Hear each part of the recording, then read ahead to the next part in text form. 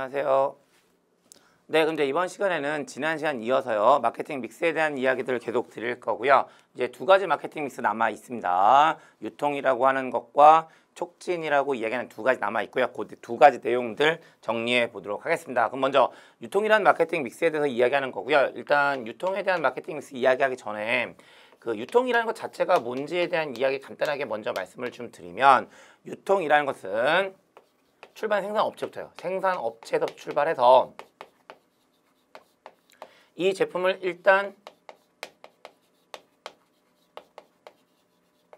유통업체를 거칠 거예요. 그리고 그 다음에 소비자가 오는 단계를 가지게 되는 거고 여기서부터 여기까지요. 요 1년, 1년의 과정을 우리는 뭐라고 이야기하냐면 유통이라고 하는 거예요. 그래서 장표 보시면 제품을 생산자로부터 소비자에게 이전시키는 모든 거래 과정과 경로가 바로 유통이 된다라고 보시면 되는 거예요. 근데 이렇게 유통하다 보니까 뭐가 필요하냐면 유통업체가 필요하고 이 유통업체를 뭐라고도 이야기하냐면 유통기관 또는 중간상이라고도 한다라고 보시면 되는 거거든요. 근데 그랬을 때 이게 유통이라고 했을 때요. 그러면 유통업체 꼭 있어야 될까요? 사실은 없어도 돼요. 근데 유통이라는 것은 기본적으로 얘가 존재한다는 전제 하에서 이런저런 이야기를 좀 하고 싶은 거거든요. 그럼 그렇다 보면 당연히 얘가 필요한 이유에 대해서 이야기를 좀 해줘야 될 거고요. 그래서 유통기간 또는 유, 중간상에 필요한 이유는 다음과 같다라고 이야기하면서 그 이유들이 쭉 들어가 있는 거고 이거 생각보다 중요한 의미를 가져요. 그래서 하나씩 하나씩 보시게 되면 첫 번째 많은 생산자들이 최종 소비자에게 직접 제품을 유통시킬 만한 능력을 가지고 있지 못하기 때문에 중간상은 필요하다는 거고요. 그 다음에 중간상은요 몇 가지 효용을 제공해 줘요. 목표 시장의 고객들이 원하는 시간 과 편리한 장소에서 훨씬 용이하게 제품을 구입할 수 있도록 하는 역할을 수행한다. 즉 제조업체와 소비자에게 시간 효용, 장소 효용, 소유 효용을 제공해 준다라고 하는데 여기서 이야기하는 시간 효용이라는 것은 보관이 가능하다는 것을 의미하고요. 장소 효용이라는 것은 이동이 가능하다는 것을 의미합니다. 그 다음에 소유 효용이라는 것은 특정 재화를 소유하기 더 좋게끔 해준다라고 이야기하는 거고 이러한 소유 효용을 얘기할 때 가장 대표적인 예가 바로 뭐냐면 자동차 할부제도예요. 그러니까 일반적으로 자동차 할부제도가 없다면 자동차를 구입하기 위해서는 큰 돈이 필요하겠죠. 하지만 자동차 할부제도가 있기 때문에 큰 돈이 없어도 자동차를 구입할 수 있게 되는 거고 그만큼 자동차를 소유하기가 쉬워진 겁니다. 그리고 그게 바로 소유 효용이 된다라고 보시면 되세요. 다음 세 번째, 생산자가 생산한 제품의 구색을 소비자들이 원하는 구색으로 전환시켜주는 기능도 수행을 하게 되는 거고요. 네 번째, 얘가 제일 중요하긴 한데 총 거래수 최소의 원리에 따라 거래의 집중화에 의한 거래 접촉 효율성을 달성시켜 준다라는 거고요. 이 중간상이 총 거래수를 줄여준다라는 사실이에요. 그래서 이러한 이유들 때문에 중간상은 필요하다라고 이야기 드리게 되는 거고 그렇게 말씀드리면 유통에 대한 개념과 중간상의 필요성에 대한 내용들을 확인하셨습니다. 그럼 이제 얘의 존재에 대한 얘기가 됐으니까 얘가 뭔가 해야 되겠죠. 그러니까 그 다음에 뭐가 들어가게 되냐면 이 유통이 어떠한 기능을 가지고 있는지에 대해서 이야기하는 거고요.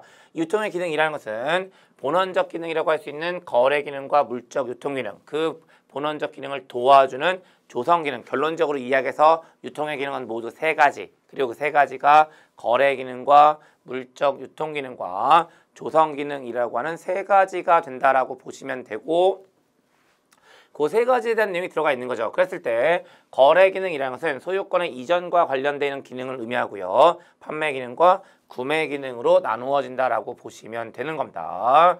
다음에 물적 유통 기능이라는 것은 재고의 이전과 관계된 기능을 의미하고요. 이러한 재고 이전과 관련된 기능은 보관 기능과 운송 기능으로 나누어질 수 있다라고 보시면 되는 거고 이렇게 거래 기능과 물적 유통 기능이 유통의 본원적 기능과 관련돼 있다라고 보시면 되는 거죠. 근데 이러한 거래 기능과 물적 유통 기능을 좀 더 원활하게 해주기 위해서 도와주는 기능이 있다라고 보시면 되는 거고 그걸 우리는 조성 기능이라고 하게 되는데 이러한 조성 기능에는 위험 부담 기능, 금융 기능, 표준화 기능, 정보 제공 기능, 구색 확보 기능 같은 것들이 있다라고 보시면 되는 거예요. 그리고 그렇게 정리하시면 유통에 대한 의의적인 측면에 대해서 보신 거고요. 그 다음에 이제 유통 전략에 대한 내용들을 이야기하게 되는 거고 그랬을 때 제일 첫 번째 유통의 유형이라는 것에 대해서 이야기하고 있어요. 그럼 이제 어떤 얘기가 되는 건데 다시 그런 쪽으로 가면 이제 입장이 얘 입장이 되는 겁니다. 생산업체 입장이 되는데 생산업체가 소비자에게 뭔가 전달할 텐데 얘 써도 되고 쓰지 않아도 돼요. 그리고 쓰지 않는다면 생산업체가 직접 소비자에게 뭔가 전달하는 거고 얘를 사용한다면 생산자가 생산업체가 간접적으로 소비자에게 뭔가 전달한다는 의미를 가지고 있겠죠. 그래서 유통이라는 것은 생산자와 소비자가 직접 거래하는 직접 유통과 생산자와 소비자 사이 유통기관을 활용하는 간접 유통이 있다라고 하는 거고 간접 유통이 돼버리면 이제 얘가 존재한다는 상 얘가 존재한다는 이해가 돼버리는데 여기에 가장 대표적인 예가 두 가지가 있다라고 보시면 되세요. 그리고 그 두 가지가 바로 뭐냐면 소매상과 도매상이 된다라고 보시면 되는데 소매상이라는 것은 개인적인 또는 비영리 목적으로 구매하는 최종 소비자에게 재화나 서비스를 판매하는 것에 관련된 활동을 수행하는 상인을 의미한다. 다시 이야기해서 최종 소비자를 상대하는 상인이 소매상이라고 보시면 되는 거예요.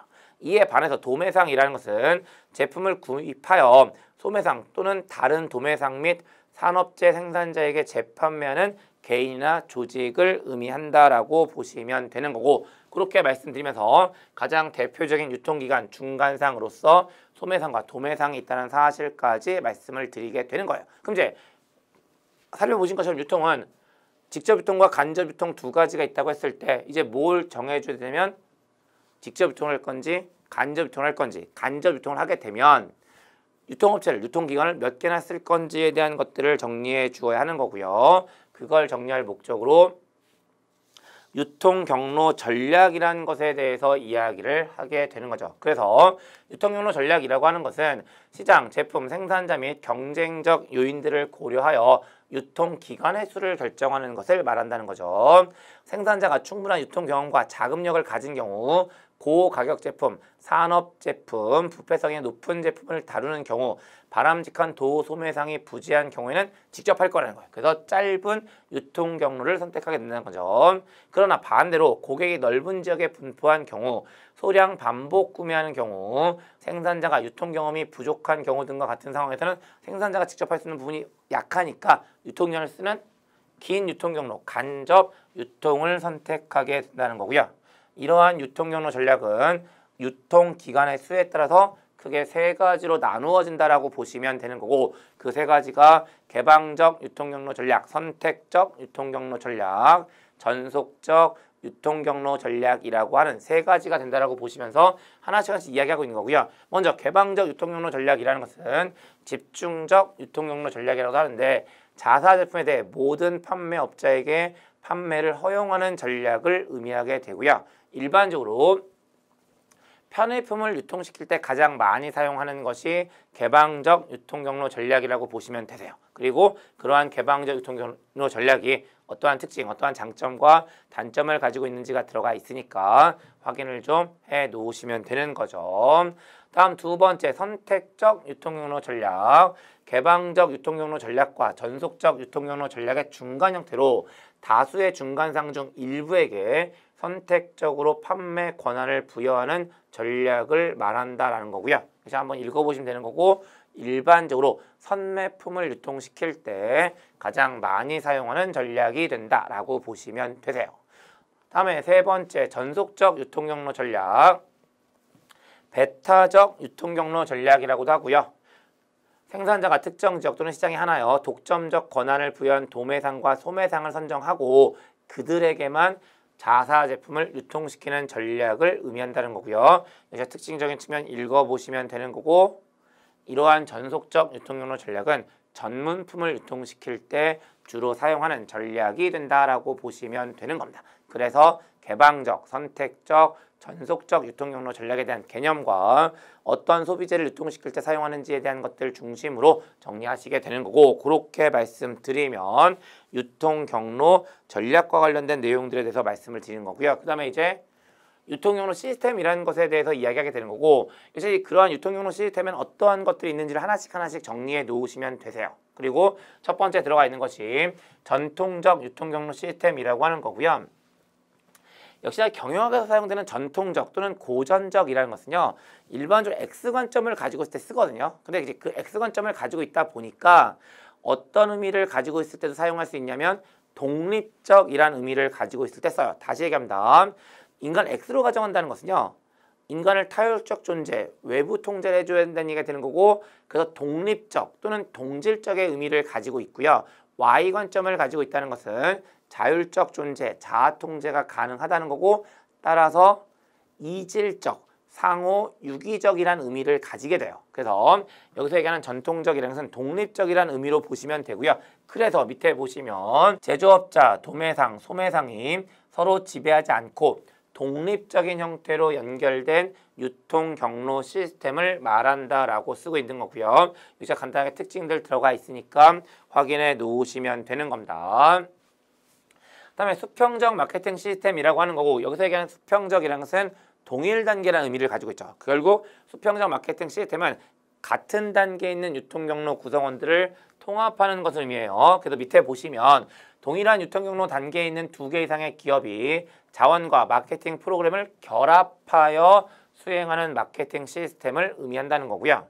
이는 각 기업이 단독적으로 효과적인 마케팅 활동을 수행하는 데 필요한 자본, 마케팅 자원 및 노하우 등을 가지고 있지 않기 때문에 수평적 통합을 통해 시너지 효과를 얻고자 하는 것이 그 목적이라는 거. 네, 수평적 마케팅 시스템은 시너지 효과를 얻는 것이 그 목적이라는 거고 뭐라고도 이야기하냐면 공생적 마케팅, 영문 표기로 심비오틱 마케팅이라고도 한다라고 이야기하는 겁니다.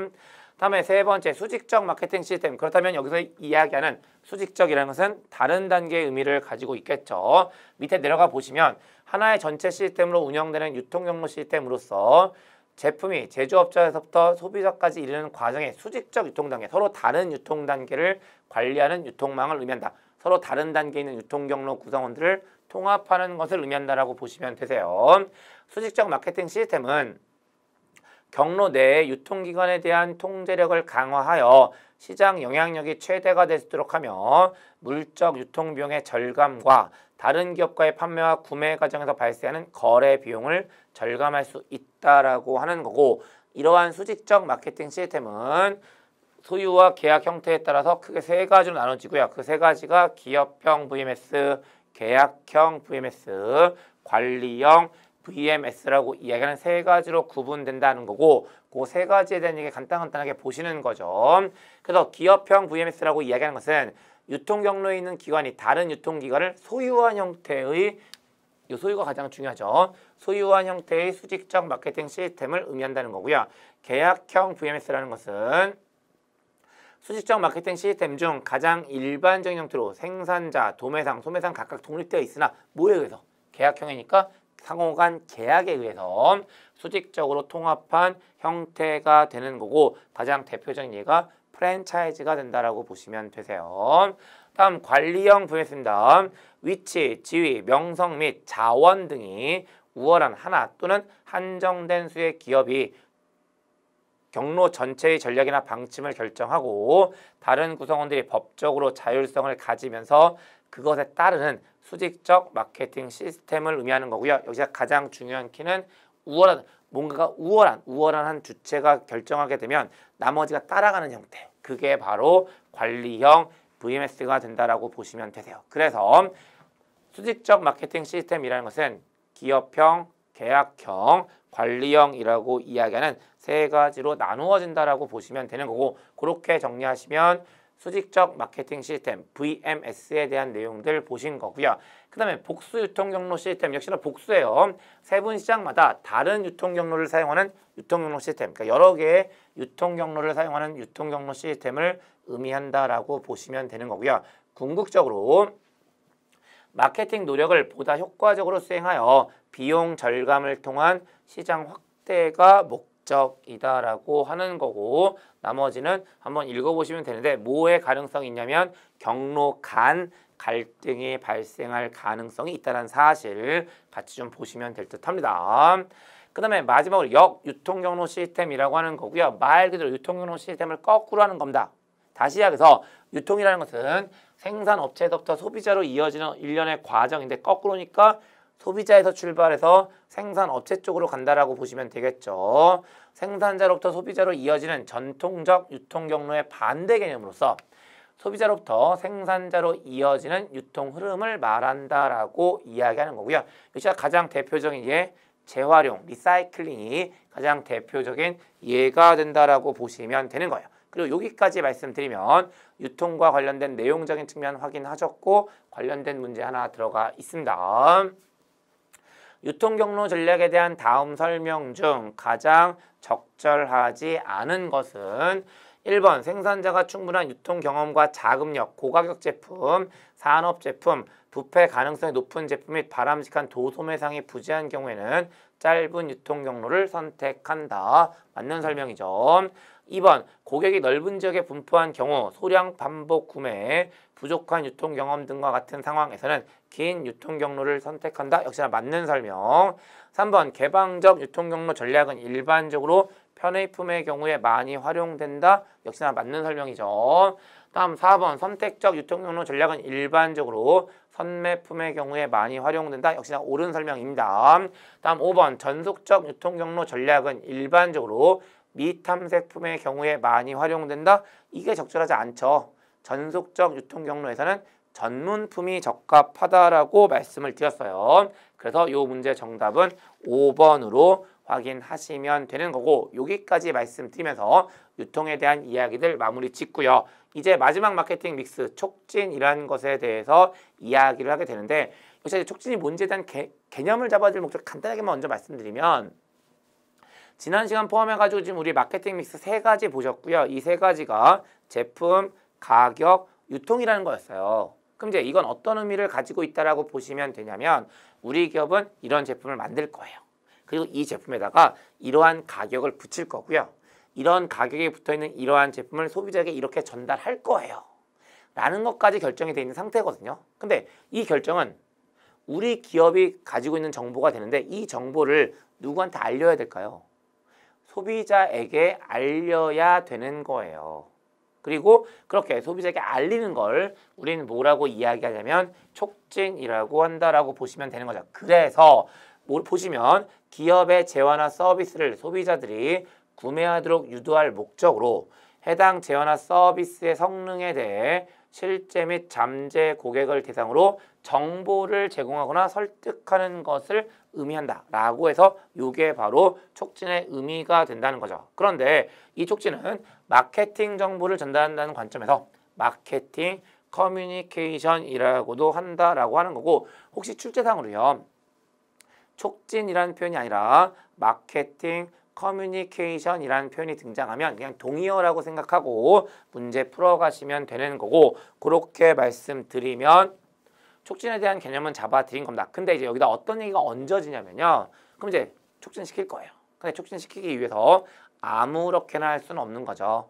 당연히 그 촉진을 하기 위한 수단들이 있습니다. 그리고 그 수단이 여러 개라서 우린 그걸 촉진 믹스라고 이야기하는 거죠. 그래서 촉진을 달성하기 위한 수단들의 집합을 우리는 촉진 믹스라고 하게 되는데 그 수단 모두 네 가지 정도를 보시게 되고요. 그 네 가지가 광고, PR, 인적 판매, 판매 촉진 등이 있다라고 보시면 되는 거고 각각에 대한 개념 간단하게 좀 확인해 보도록 하는 거예요. 그래서 때 광고라고 이야기한 것은요.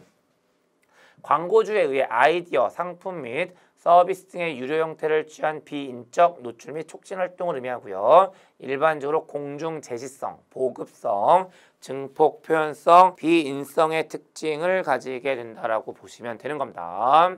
그 다음에 PR이라고 이야기하는 거고요. 촉진을 수행하는 기업이나 조직의 금전적 대가를 지불하지 않고 예, 신문, 잡지, TV, 라디오 등의 뉴스나 기사를 통해 재화와 서비스에 소개함으로써 다양한 이해관계자들로부터 호의를 갖게 하고 소비자의 수요를 자극하는 촉진 믹스를 말한다는 겁니다. 즉 공중의 이익에 입각하여 각 개인이나 조직의 정책 및 절차를 밝혀서 공중의 이해와 동의를 얻기 위하여 계획을 수립하고 실천하는 과정이라고 보시면 되고요. 이러한 PR은 크게 두 가지 특징을 가지게 되는데 그 두 가지가 저비용과 신뢰성의 특징을 가지고 있다라고 보시면 되세요. 근데 PR 말고 홍보라는 용어도 종종 쓰게 되는데 그 PR 공부는 어떤 관계를 가지고 있냐면 홍보가 PR보다 좁은 개념, 다시 이야기해서 PR이 좀 더 포괄적인 의미를 가지고 있다라고 보시면 되는 거고 그렇게 말씀드리면서 PR에 대한 내용들 확인하시는 거고요. 그다음에 인적 판매입니다. 판매원이 판매를 목적으로 1인 또는 그 이상의 예상 구매자들과 직접적인 접촉과 쌍방향 의사소통을 통해 자사의 재화와 서비스를 구매할 수 있도록 권유하고 설득하는 과정. 다시 이야기해서 판매원을 통해서 하는 것을 인적 판매라고 이야기하게 되는 거고요. 이러한 인적 판매는 개인적 접촉, 쌍방향 의사소통, 고비용, 최종 구매 행동에 자극을 하는 특징을 가지고 있다고 하는데 이 최종 구매 행동 자극이란 이유 때문에 한 가지만 추가적으로 말씀드릴게요. 이 인적 판매는 어떤 특징을 가지고 있냐면 일단 비용이 비싸다는 특징을 가지고 있어요. 하지만 최종 구매 행동을 자극하기 때문에 인적 판매 끝에 소비자가 해당 제품을 구매할 가능성은 높아지거든요. 그래서 절대적인 비용은 높지만 시간과 비용의 낭비는 적어요. 구분해 놓으세요. 인적 판매는 절대적인 비용은 높다는 특징을 가지고 있습니다. 하지만 시간과 비용의 낭비는 적다라는 장점을 가지고 있는 방법이 돼요. 그래서 그렇게 정리하면서 인적 판매와 관련된 이야기들 보시는 거고요. 그 다음에 마지막으로 판매 촉진에 대해서 이야기하게 되는 거고요. 재화나 서비스의 판매를 촉진하기 위한 비교적 단기적인 동기부여 수단을 총칭하는 개념을 말한다. 판매 촉진은 지금 시점에서 구매할 이유를 제공하는 것이 목적이며 그 대상에 따라 소비자를 대상으로 하는 소비자 판매 촉진과 유통기관을 대상으로 하는 유통기관 판매 촉진으로 나누어진다라고 보시면 되는 거고 이렇게 말씀드리면 광고, PR, 인적 판매, 판매 촉진에 대한 개념들을 간단하게 보셨고요. 역시 나중에 뒤에서 광고와 관련해서는 좀더 보긴 할 겁니다. 그래서 요게 바로 네 가지의 제품, 네 가지의 촉진 믹스가 된다라고 보시면 되는 겁니다. 그럼 이제 여기서 어떤 얘기를 이어가냐면 보시는 것처럼 촉진 믹스가 네 가지라면 무조건 네 가지를 다 쓸 수 있는 건 아닐 거잖아요. 당연히 상황별로 적합한 촉진 믹스가 좀 나눠진다라고 보시면 되는 거고요. 그래서 이러한 촉진 믹스의 결정 요인과 관련된 이야기가 들어가 있고요. 그랬을 때 제일 첫 번째 촉진 대상 제품의 유형에 따라서 소비재는 일반적으로 광고의 중요성이 더 크고요. 산업재는 인적 판매의 중요성이 더 크다라고 이야기하는 겁니다. 다음에 구매 의사 결정 과정에 대해서 정보 탐색의 과정에서는 광고나 PR이 좋고요. 구매 행동에서는 인적 판매나 판매 촉진이 바람직한 촉진 수단이 된다라고 보시면 되는 거예요. 다음에 제품 수명 주기와 관련해서 도입과 성장기에서는 광고나 PR이 적합하고요. 성숙기에서는 기존 구매자를 대상으로 한 판매 촉진이 적합합니다. 마지막으로 쇠퇴기에서는 판매 촉진을 지속적으로 실시하되 소비자들 잊지 않을 정도의 광고는 실시해 주어야 하는 거고 그게 바로 제품 수명 주기와 관련돼 있는 촉진 믹스의 결정이라고 보시면 되고요. 그 다음에 마지막으로 이제 push 전략과 pull 전략에 대한 얘기 들어가 있는데 일단 pull 전략과 push 전략의 문제에 대한 개념부터 잡아야 되겠죠. 그랬을 때 push 전략이라고 하는 것은 제조업자가 최종 소비자에게 직접 촉진 활동을 하지 않고 유통업자를 통해 촉진하는 방법을 의미하고요. 일반적으로 판매 촉진이 가장 적합한 형태의 전략이 돼요. 이에 반해서 pull 전략이라는 것은 제조업자가 최종 소비자에게 촉진 활동을 함으로써 소비자가 자사 제품을 찾도록 하는 전략이고요. 일반적으로 광고가 주요한 촉진 수단이 된다라고 보시면 되는 거죠. 다시 이야기해서 푸전략과 푸전략은 뭐라고 보시면 되냐면 생산업체 입장에서 유통기관을 통해서 촉진하게 되면 push가 되고요.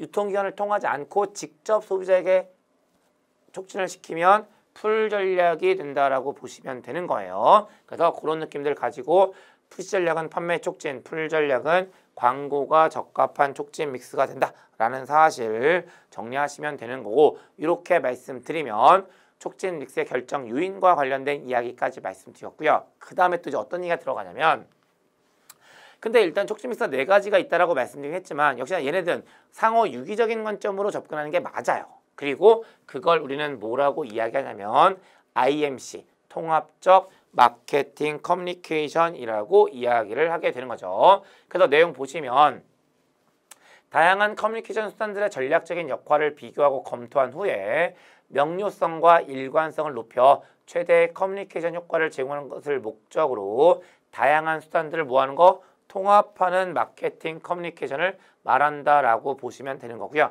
이러한 IMC가 등장하는 배경에는 이러한 것들이 있다라고 쭉 쓰여져 있고 쭉 확인해 보시면 되는 거예요. 그리고 이제 거기까지 말씀드리면 IMC라는 것에 대한 개념들까지 말씀드렸고 이게 이제 촉진 믹스라는 관점에서 정리하시는 내용들이 되는데 아까 잠깐 말씀드린 것처럼 아, 앞에서 보신 네 가지 촉진 믹스 중에 한 가지에 대해서 조금만 더 볼륨을 키울 거예요. 그리고 그게 바로 뭐냐면 광고라는 것이 된다라고 보시면 되는 거고 역시 이제 각각에 대한 필요한 내용들을 중심으로 끌고 갈 건데 첫 번째 광고는 어떤 것들이 있는지 대한 광고 유형에 대한 이야기 들어가 있습니다. 그랬을 때 먼저 부정적 광고라고 이야기하는 거 말 그대로 부정적인 정보를 전달하는 것을 부정적 광고라고 이야기하는 거고요. 두 번째 잠재의식 광고라고 이야기하는 거 소비자의 잠재의식을 자극하는 형태의 광고를 의미하게 되는 거고요. PPL 광고라고도 한다라고 보시면 되는 거고요. 간접 광고도 이 예에 해당한다라고 볼 수 있습니다. 그래서 그런 형태 가지고 잠재의식 광고에 대한 내용들 보시는 거고요. 그다음에 인포모셜이라고 얘기하는 거말 그대로입니다. 정보와 광고의 합성어를 의미하게 되는 거고요. 그래서 주관적인 정보는 주관적인 정보인 광고를 전달하면서 객관적인 정보인 것처럼 포장하는 것 그게 바로 인포머셜이 된다라고 보시면 되고요. 다음 티저 광고라고 이야기하는 것은요. 소비자의 호기심을 유발할 목적으로 광고의 브랜드나 제품을 노출시키지 않는 형태의 광고를 의미한다라고 보시면 되세요.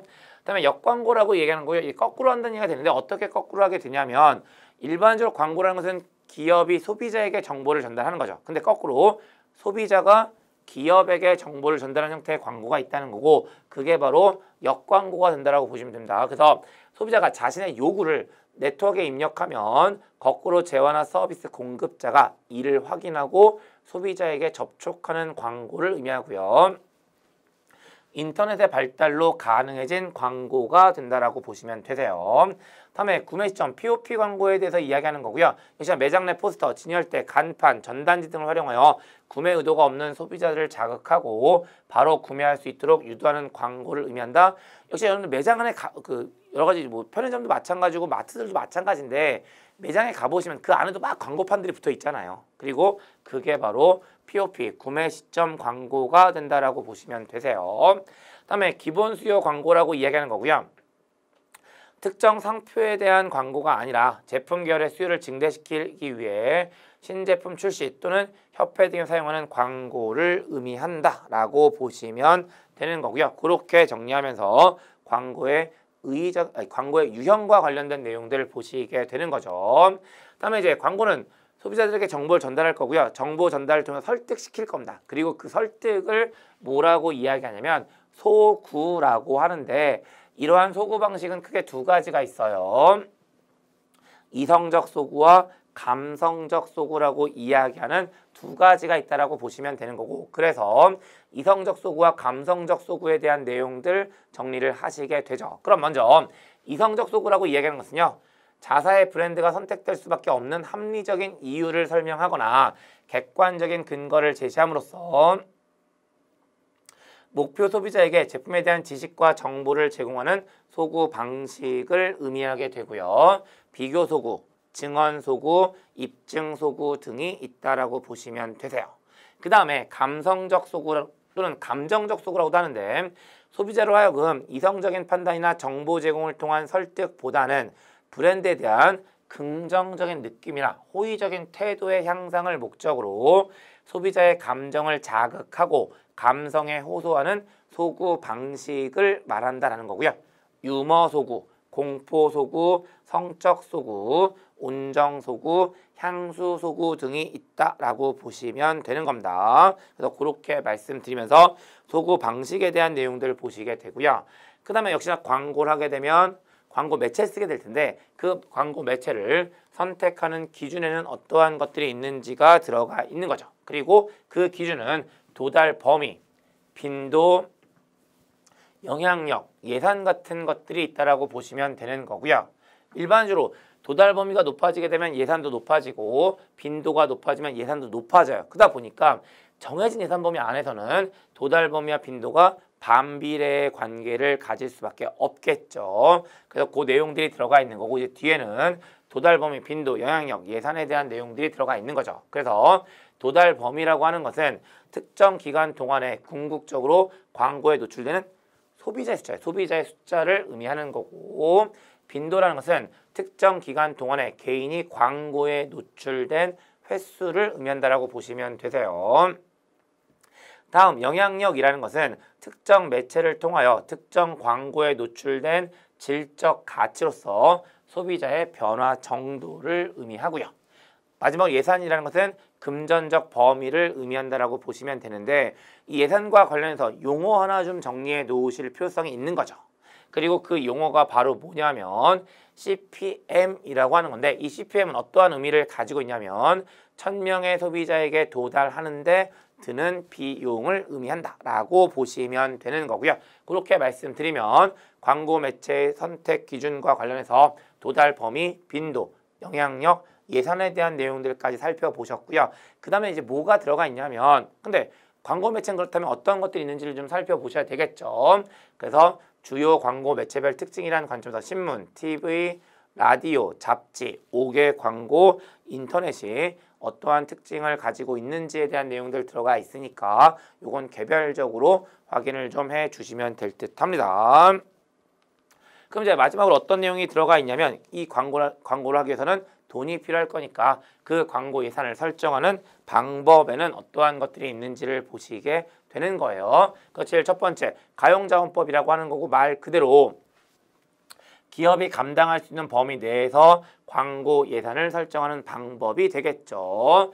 다음에 매출액 비율법 말 그대로 매출액의 일정 비율을 광고 예산으로 설정하는 방법 이익 비율법 이익의 일정 비율을 광고 예산으로 설정하는 방법이라고 보시면 되는 거고 경쟁 기업 대항법 말 그대로 경쟁 기업이 얼마나 광고 예산을 쓰고 있는지를 확인한 다음에 거기에 맞춰서 우리 기업의 광고 예산을 설정하는 방법 마지막으로 목표 과업법 달성 가능한 목표를 설정하고 이를 달성하기 위해 필요한 과업을 산출하여 광고비를 추정하는 방법이라고 하고 있고요. 이러한 관점에서 광고 예산의 설정 방법에 대한 내용까지 확인하시면 되세요. 그리고 여기까지가 마케팅 믹스에 대한 내용들이 되는 거고요. 일단 관련된 문제 보겠습니다.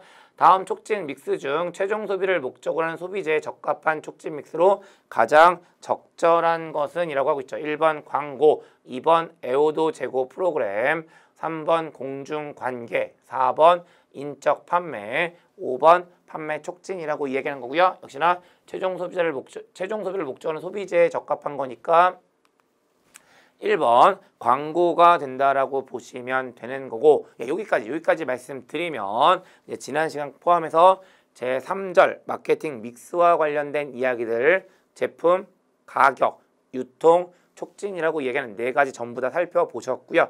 여기까지가 이제 제 2장 마케팅과 관련된 내용적인 측면이라고 보시면 되고 다음 시간에 요 제 2장 마케팅과 관련돼 있는 기출 변형 출제 예상 문제 확인해 보도록 하겠습니다. 네. 다음 시간에 뵙겠습니다. 수고하셨습니다.